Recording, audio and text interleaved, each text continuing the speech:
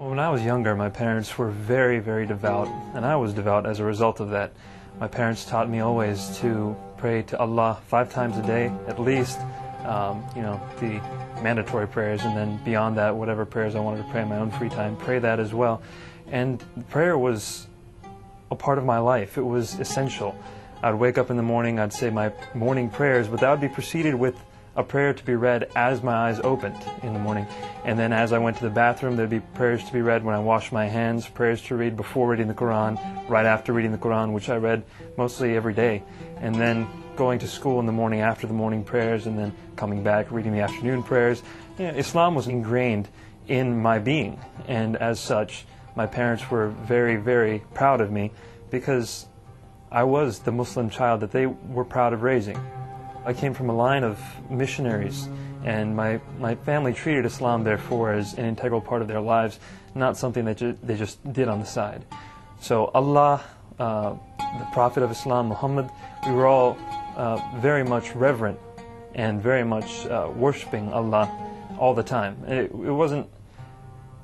It wasn't another religion so much as it was a way of life, and it was something that we were, not just we followed. And so Islam was not something that I was apathetic towards or even indifferent towards. It was my very way and my very being. I was at a public speaking and debate tournament. It was my first year of college. I was 18 at the time. And a friend of mine who was on the team, his name is David. David and I were rooming together.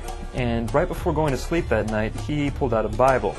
And I hadn't really seen anyone read the Bible on their own free time. I had heard it preached from, I had heard people refer to it, but never actually seen anyone read it on their own free time. And I said to him, David, you do know that that Bible has been changed, right? You do know that it's been tampered with. It's not the same Bible that was revealed to Christ uh, hundreds of years ago. And unbeknownst to me, David was actually an up and coming apologist. He had studied the Bible, he had studied about the Bible, studied about the canon, reasons for believing the Bible, reasons for believing in Christ as Lord. So he was ready for the question, far more ready than I had anticipated. He responded and said, You know, they really haven't been changed. We can test how much they have been changed. There's a science called textual criticism, which allows us to estimate approximately how much of a manuscript is variant from its original. And I looked into that and I began to realize, well, hey, the Bible hasn't actually been changed all that much. I began to realize, in fact, that no doctrine seems to have ever been changed, that from the beginning, the Bible stated that Christ is Lord, that He died for our sins, rose from the dead on the third day, and it never said anything else. So it wasn't until a few years later that I began to realize that maybe I was wrong. It took quite a few years of debating this and researching it and studying it for me to realize this. We have hundreds, oh, not hundreds of thousands, but tens of thousands of documents that show that the Bible is still close to the word that it was, that Christ did claim to be God. There's evidence for this, and for Islam, there's not too much evidence. It took me about three and a half years to come to that point, to realize that, hey, this stuff is true, that everything that I had been taught, I loved Allah, I loved Islam, I loved Muhammad, I loved my parents, I loved everything that I'd ever grown up with, but that didn't make it true. And I'm asking God, God, I can't find the truth by myself. You please show me the truth. Whatever I have to do, however much it hurts, whoever in my family will leave me, or whoever of my friends will leave me, whatever it takes, I will walk that path. I look back at that, I had no idea what I was asking for. I was at the foot of a hotel bed, and I had prayed. I had prayed and prayed to God, but this time I had prayed with the most humility that I had ever had. I broke down. I said, God, I don't know. I can't know.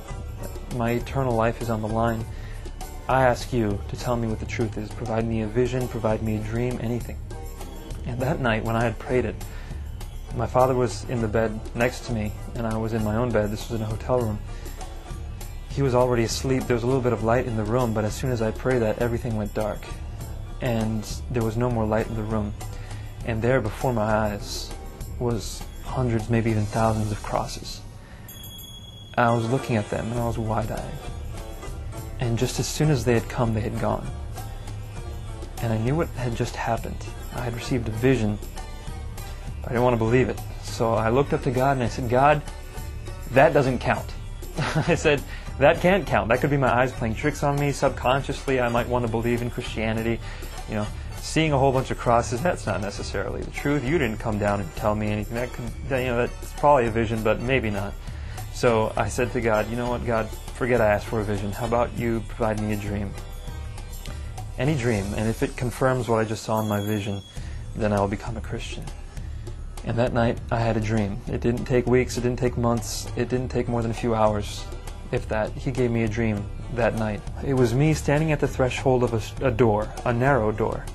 Not in the door yet, just outside it. My toes are, are at the line of the door. It's a narrow door, so it's about three feet wide, just wide enough to fit me, and probably about six to seven feet tall, just tall enough to fit me, and about the same depth in length. Just uh, so it's a doorway, not just a door. At the other end of a door is David, my friend, sitting at a table, and it's a round table, and within that room are hundreds of people, all sitting at tables, and there's food laid out before them, and they're all getting ready to eat, but they haven't started eating yet. They're waiting, as if for a speaker, to come and start whatever it is uh, a speech, a session, to shut the door and start speaking. But they haven't started eating yet. And I look at David and I said to him, I thought we were going to eat together. And without turning back, he says to me, You never responded. That's all the dream was. Me at a narrow door saying, I thought we were going to eat together, and him at a feast saying, You never responded. I woke up and I immediately knew what that dream meant. That room was heaven. That room was the kingdom of God. And I was standing right outside the door. I was not in yet because I had not responded. God gave me a dream that was so clear that I did not have to interpret it. But it was even more clearer than I had anticipated. A few hours later, I called David and I said, David, I had this dream. And he said to me, I don't even have to give you my opinion on it. That's right out of the Bible. And I said, What? And he said, Go to Luke 13 and I went to Luke 13, verses 20 through 29, and you read it, and it's the people asking Christ. He said, Will many people enter the kingdom of heaven? And he says, Many will try to enter, but few will be able. Make every attempt to enter through the narrow door. And people will be standing at that door knocking. And that's exactly what happened in my dream. I was at that door. The door had not been closed yet, but the opportunity to come in to that feast was still there. I just had to respond. At that point, I kind of knew what I had to do. I realized that Islam probably was not the truth, that God was really pulling me. Even though I didn't want to be pulled, I was kicking and screaming, He was pulling me towards the truth. I was at a point where I hurt tremendously. I was mourning. I literally was mourning. I was crying on my way to school um, one day, and I said, God, please give me a few days to mourn. I just need I need to mourn. Um, you know, I have people that I'm losing, people who might die when they hear this. Uh, let me mourn. And you know, I'd go back to my apartment and I looked through the Quran and there was nothing to help me. And I'd, I'd open up Matthew and I wouldn't even get through Matthew 5. And there, God says, "Blessed are those who mourn, for they will be comforted." And I'm I'm reading Job and all the all the anguish that's that I have. God understands. God God's alleviating through the Bible, through His Word, not through the Quran. There's nothing in the Quran that was helping me. The Quran was giving me glimpses into a past life, but nothing that was helping me. Nothing at all. And every time I would open the Bible, it would be there. I would pray to something for God, and I'd say, well, how do I know I'm going to get this? And then I'd, I'd open up 1 John 5, verses 14 through 15. It says, everything we ask for, He will give us because He hears us. Because we believe in, in our hearts that Christ is Lord. And I did believe in my heart that Christ was Lord, but I didn't confess it. And even there, within that book, 1 John, he says, How do we know if our hearts condemn us? And he says, If we confess with our hearts and our tongues that Christ is Lord, then our hearts will not condemn us. I hadn't done that yet. I hadn't confessed yet. I didn't know yet. Romans 10 says the same thing. It says, you know, if you believe with your heart that Christ is Lord and that he was raised on the third day from the dead, then you will be saved. And I hadn't done that yet. And then it hit me when I was reading Matthew, and it said, No one who denies me before men will I accept in the kingdom of heaven. So everyone who denies me, I will deny before my Father. And everyone who proclaims me before the men in this world, I will proclaim before my Father in heaven. And it was at that point that I couldn't deny Christ any longer. I couldn't deny God any longer. I couldn't hold my life my values that I had chosen to believe, that I had no reason to believe except that I had always been born with them and lived with them, I began to realize that that was not the truth and I had to accept Christ into my life. I asked the Holy Spirit to change me. And after praying that prayer, the whole world looked different. I looked out at the world. I kid you not. I was when I prayed that, I was shocked, as if electrified. I had said words that to me were just words, but it was a request to God that He fulfilled. And at that moment, when the Holy Spirit filled me, I was stuck in that position for 10 minutes, as if I had been electrocuted. I was stuck. I was like this. For 10 minutes, not able to move. And when I finally moved, I looked at the world around me and it was absolutely beautiful. There was so much hope. There was so much meaning. Because at this point, I realized what life was all about. It's not about living your life as a good person. Sure, you need to do that, but that's not what it's about. The primary purpose of life is to praise and worship the one true God who came to this world and died for our sins so that we could appreciate Him, so that we could worship Him fully with joy and rejoicing, as Paul says in Philippians 4 Rejoice always, because the Lord is near. My life had meaning now because now I could go out and preach the Word. I didn't have to just sit back and say, hey, everyone who does good deeds will get to heaven. No, now there was meaning. Now there was, people need to know who God is, what He has done. People need to know what our position is in relation to Him. They need to know that we have to worship the one true God and His Son, Jesus Christ, who came to die for our sins. We have to tell people that yes, God is one. However, He's one in three and three in one. Whether we can understand that or not is beyond our scope.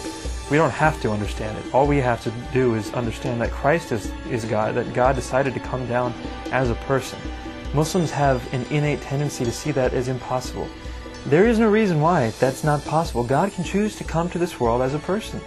Show me anywhere in Quranic scripture and Ahadith where it says God cannot. To the contrary, you'll find everywhere in Islamic scripture that God can do whatever He wants on the last day. Yawm al-Qiyamah, as it is said in the Quran, where we will all be judged.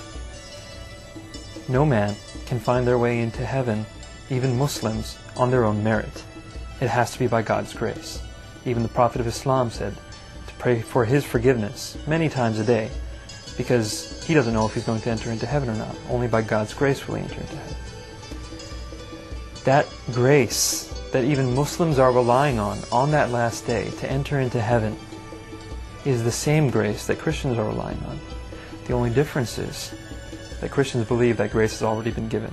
On that cross, 2,000 years ago, He provided that grace for us. The same grace, not a different one.